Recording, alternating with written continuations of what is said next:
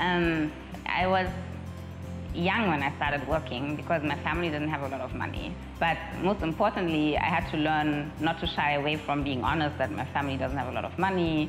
Um, and had to learn to grow up in a country, Germany, where Africans are um, a minority and had to learn to accept that people didn't see me as a German person, even though I have a very German accent. Um, so there was a lot of external factors that pushed me into being authentic because otherwise life wouldn't have been so much fun. I think it's really important to follow your purpose in life because one, it unlocks your true potential. It brings out who you really are and what you're capable of doing. It's taking the time to identify hidden opportunities. The most important thing is finding your purpose, first of all, and then following it. I think at AFG we have found our purpose to contribute to the development of Africa. At AFG, one of the most important parts of our, of our structure to me are the 12 values that we have, which are uh, distinguished into our client, ourself, and our team values. Now, unless we take the time, each of us, right, to identify opportunities within these sections, right, we won't be able to, to enact uh, that goal. I think what excites me most about AFG is that it allows us to dream and to be purposeful and to be impactful in our work, while at the same time being, you know, fully integrated in the real world of, of business and policy.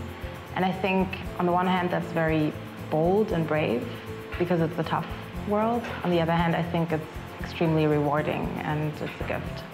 My big passion is helping to build African multinationals.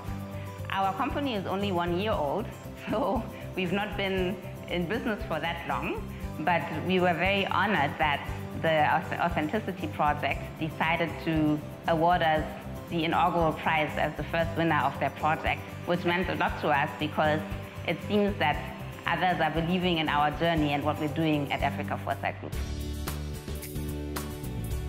if you only strive to have a lot of money or if you only strive to be recognized by others for your success, you will end up feeling emptier.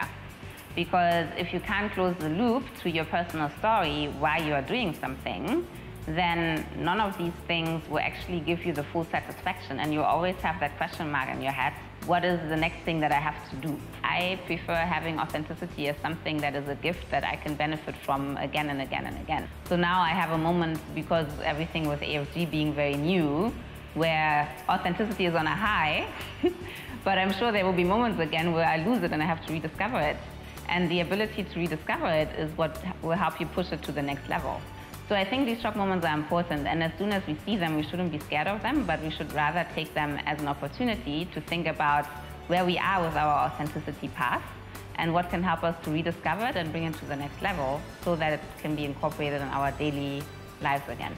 The world has become more fast-paced and there's more technology and all of that, but I don't think it's only that. I think it's also that people are searching more for what they really believe in and what they want to dedicate themselves to. Authenticity matters a lot, but I think it's a journey that requires a lot of self-reflection. So for me, it was also only a couple of years ago that I realized how valuable authenticity is to me as a person and uh, as an individual doing business and trying to achieve a certain impact. I think authenticity matters because it is the only thing that can make you whole. The opportunity to choose has become much wider and much more accessible for many of us? Well, I think it is needed in humanity and in the world because if anyone was not being authentic, AFG would not have been created. It is by the genuine nature of people that we get new things created in the world today. I would say that authenticity is something that we always have to rediscover and sometimes lose because otherwise we can't rediscover it. I think we all have to find our personal version of what authenticity means. My trait of character, or live up to that, which is that I care a lot about equality. I care a lot about people being given the same opportunities, and I just see too much of economic inequality that is a result of things not being fair in the business environment that we have in African countries. But this is my definition of it, and this is what drives me.